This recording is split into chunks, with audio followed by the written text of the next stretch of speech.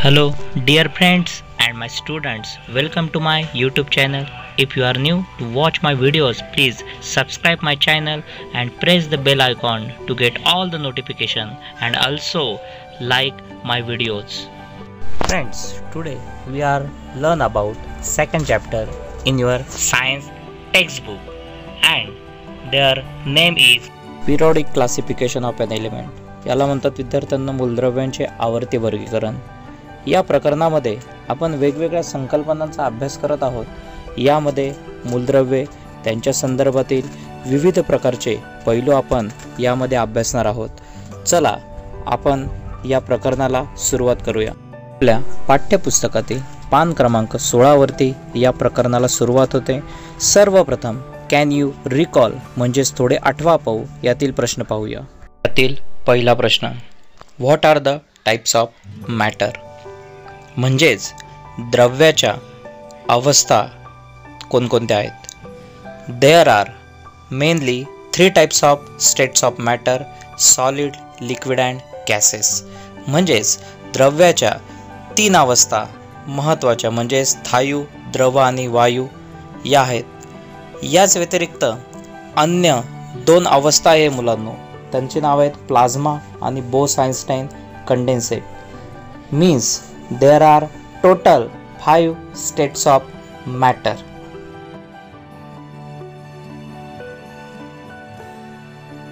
दुसरा प्रश्न what are the types of elements म्हणजेच मूलद्रव्यांचे प्रकार कोणते? Answer there are three types of elements they are metals non metals and metalloids म्हणजेच धातू अधातू आणि धातू सदृश. तिसरा प्रश्न. What are the smallest particle of matter called म्हणजेच द्रव्याच्या अतिसूक्ष्म कणाला काय म्हणतात? याचे उत्तर पाहूया. Answer the smallest particle of matter called an atom म्हणजेच द्रव्याच्या अतिसूक्ष्म कणाला अणू असे म्हणतात. चौथा प्रश्न. What is the difference between the molecules of elements and compound म्हणजेच मूलद्रव्यांचे रेणू आणि संयुगे यामध्ये नेमका काय फरक आहे? हे आता आपण पाहणार आहोत. याचे उत्तर पाहूया. Answer a elements contain only one kind of atoms in the free state or combine state म्हणजेच मूलद्रव्यांमध्ये एकाच प्रकारच्या अणूंचा समावेश होतो की जे मुक्त अवस्थेत किंवा संयुक्त अवस्थेत आढळतात. B compound is produce by chemical reaction of two or more elements दोन किंवा जास्त मूलद्रव्यांच्या रासायनिक संयोगाने संयुगे तयार होतात.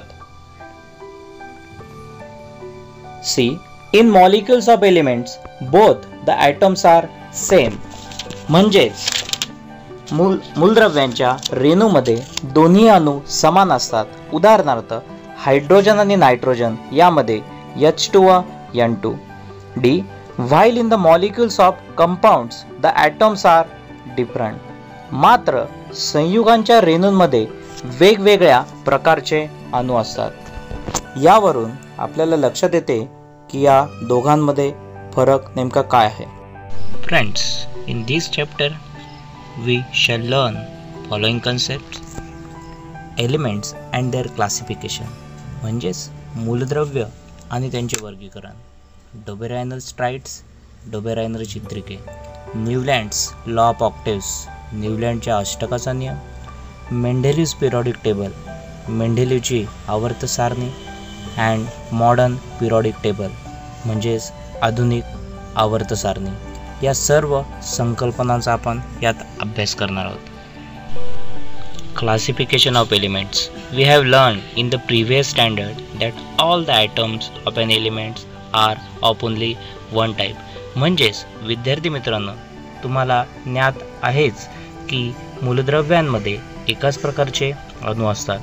Today one hundred eighteen elements are known to the scientific world म्हणजेच सध्याच्या स्थितीला एकूण एकशे अठरा मूलद्रव्ये सर्वांना ज्ञात आहे या एकशे अठरा मूलद्रव्यांना प्रत्येकाला संज्ञा प्रदान करण्यात आलेली आहे आणि त्यांची विशिष्ट स्वरूपात मांडणी देखील करण्यात आली आहे.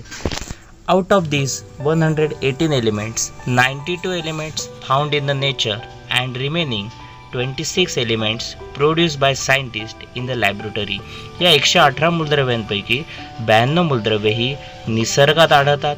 तसेच उर्वरित सव्वीस मूलद्रव्ये ही शास्त्रज्ञांनी प्रयोगशाळेत त्यांची निर्मिती केलेली आहे हे आपणास लक्षात ठेवावे लागेल.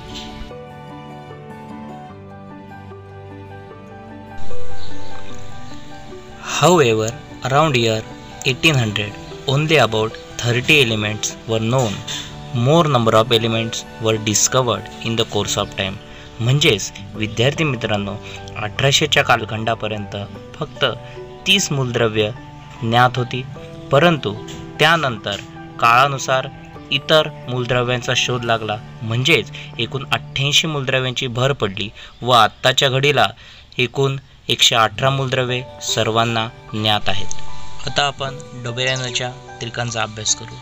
Dobereiner's triads first in eighteen seventeen the Dobereiner was found some group of three elements which show the similar properties सन अठराशे सतरामध्ये डोबेरायनर यांना गुणधर्मात साम्य असलेल्या तीन तीन मूलद्रव्यांचे गट आढळले.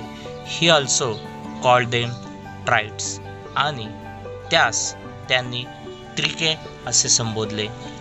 या त्रिकांचा ज्यावेळेस डोबेरॅनर यांनी अभ्यास केला होता त्यावेळेस त्यांना गुणधर्मामध्ये काही स्वरूपात साम्य आढळले होते आणि त्याचबरोबर त्यांनी त्यांचे गट पाडले.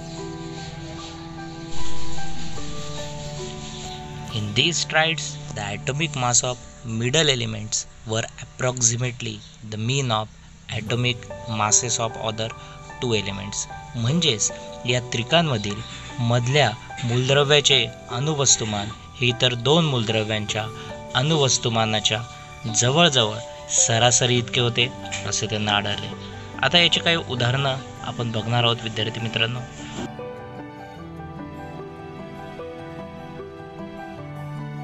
So, in this example, there are given three elements lithium, sodium, and potassium. Their atomic mass also given. The atomic mass of lithium is 7, the atomic mass of sodium is 20, 23, and atomic mass of potassium is 39. Dobereiner was found the arithmetic mean of first and last element. So here there are given the arithmetic mean of first and last element. 7 plus 39 upon 2 is equal to 23 means we can said it is equal to the atomic mass of middle element that is sodium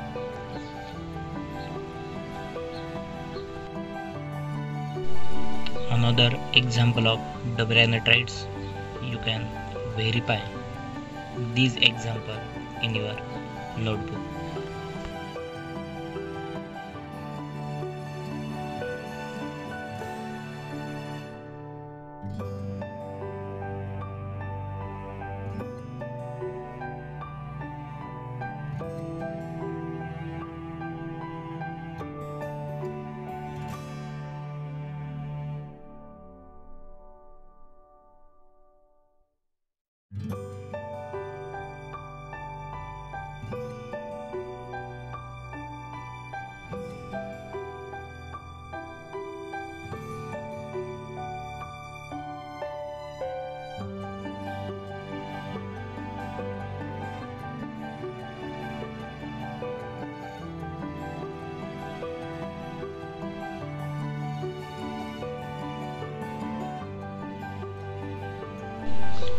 Next, limitations of Dobereiner This topic not given in your textbook. Dobereiner यांच्या त्रिकाच्या मर्यादा Dobereiner could find only three trides that is total of nine elements only. Dobereiner यांना फक्त तीनच त्रिके शोधता आली thus Dobereiner's could not be classify most of the elements known at that time त्या काळात ज्ञात असलेल्या अनेक मूलद्रव्यांपैकी काहीच मूलद्रव्यांची मांडणी किंवा वर्गीकरण त्यांना करता आले. सम ट्राईड्स डज नॉट ओबे डोबरायनर रूल काही त्रिके डोबेरायनर यांच्या नियमात बसत नव्हते. तर हे झाले डोबेरायनर यांच्या त्रिकांच्या मर्यादा.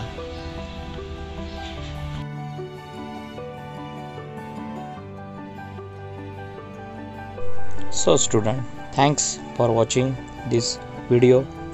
If you like this video please like this video and subscribe my channel.